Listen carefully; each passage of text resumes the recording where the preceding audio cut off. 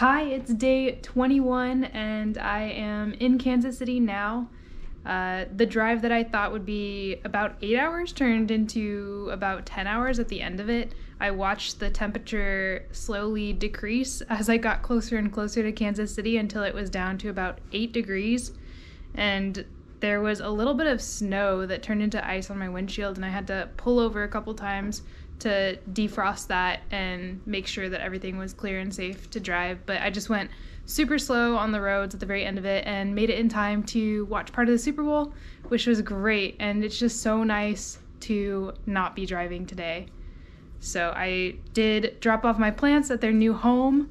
I have a lovely new plant watering lady, and you can barely see her. I think if she gets closer, you'll be able to see her better.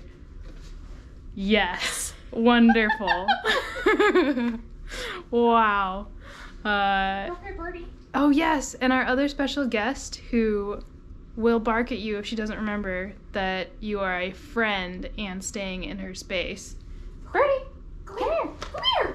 is right over here, which you can also barely, you can't see it, it's too dark. Oh, it's too dark. Well, trust me that there's a very cute furry friend also here.